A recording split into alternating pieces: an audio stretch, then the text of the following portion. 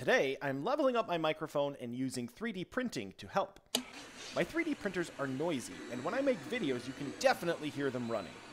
There are some upgrades to make the printers quiet, rather just not record the noise when I'm making content or streaming. This little wireless microphone does a fantastic job recording just what I need for my content, and it's modular so you can move it between different pairs of headphones. This is from my iPhone. Let me flip you over. There's still lots of wind. But down here on my computer, this is just taking straight from the microphone.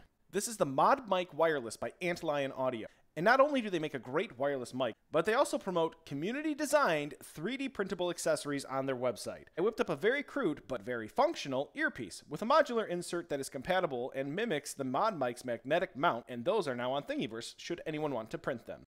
I have a non affiliate link to the ModMic Wireless in the video description. If you decide to pick one up for yourself, use the also non affiliate discount code PRINTMeister.